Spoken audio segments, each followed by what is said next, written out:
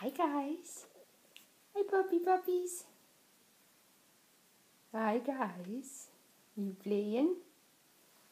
You got your eyes open, your ears open, and you're playing. And they're going to start on solid food today. Well, they're going to start on puppy chow soaked with a little bit of goat milk. That'll be their first solid food meal. Hello. The one that's on her back is the little girl. And the one that's uh, got his paws around her neck as the little boy.